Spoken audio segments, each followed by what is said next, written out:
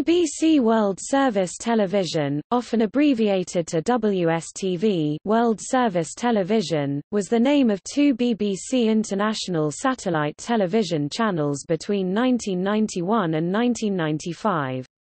It was the BBC's first foray into worldwide television broadcasting. In Europe, it was the successor to BBC TV Europe, which it replaced on the 11th of March 1991. The service was also launched in Asia as a 24-hour news and information service with minor differences, a precursor to BBC World News, launched on 14 October 1991. Unlike the BBC World Service at the time, it was not funded by the British government with a grant in aid, instead, it was funded either by subscription or by commercial advertising, with advertisements that were inserted locally by the cable or satellite providers. In the years that followed, where not broadcast via a particular local provider, the BBC would insert news headlines, trailers for their own programming, and other updates to fill the gaps, these being known as break fillers.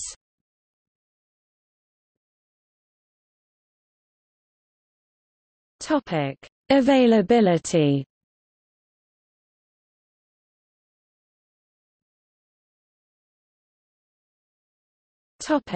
Europe.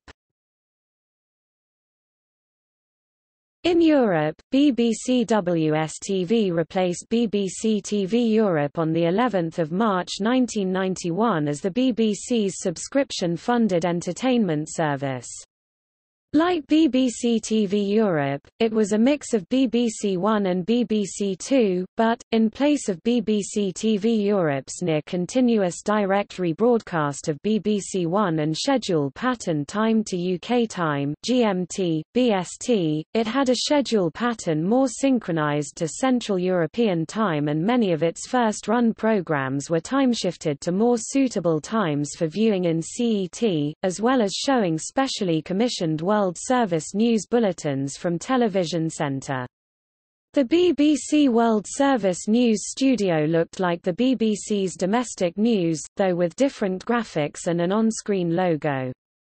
The station also broadcast its own children's BBC junctions from Presentation Studio A.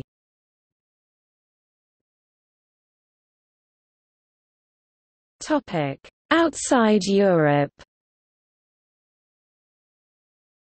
Outside Europe, BBC World Service Television was the name of the 24-hour news, information and current affairs service, launched in Asia on 14 October 1991 as carried by Star TV, and also available from Turkey to South Korea on Asiasat.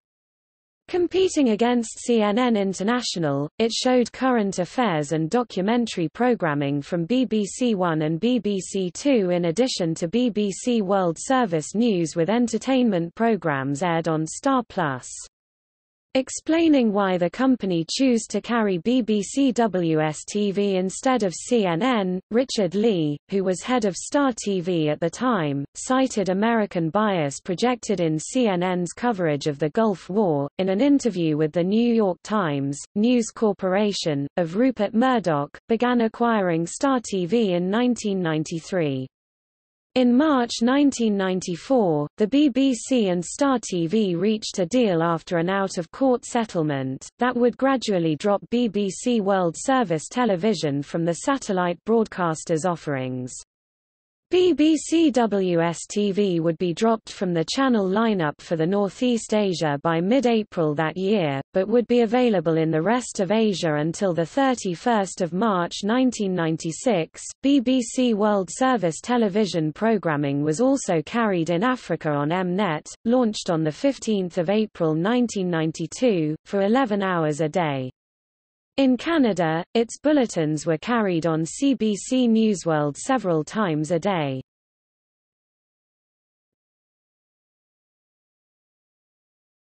Topic: Presentation The channel from 1991 until C.1994 used the presentation device of a rotating world, the computer-originated world, which had previously been used on BBC One between 1985 and 1991. The world symbol remained the same, but the legend at the bottom was altered to a BBC logo with an italic, World Service, beneath. Promotional style and static program captions mirrored that of BBC One and Two at the time and featured the globe symbol above a small BBC logo in the top left corner of promotions and on captions. The sidebar of captions featured a vague wispy line style, similar to that used by WSTV bulletins.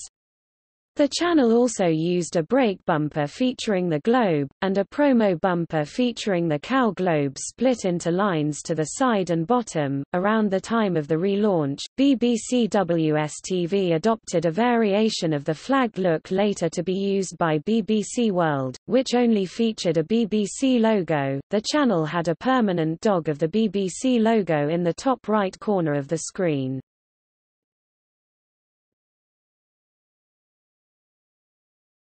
Topic: Rebranding and reorganization. On Thursday 26 January 1995 at 1900 Greenwich Mean Time, BBC World Service Television was split into two new channels, BBC World since renamed BBC World News, 24-hour English free-to-air terrestrial international news channel, news bulletins, information, business and financial news magazines and current affairs programs, officially launched on Monday 16 January 1995 at 1900 Greenwich Mean Time. BBC Prime since replaced by BBC Entertainment, 24-hour English cable lifestyle, variety and entertainment channel, variety, culture, leisure, lifestyle, art and light entertainment programs, officially launched on Monday 30 January 1995 at 1900 Greenwich Mean Time at BBC Television Centre in White City.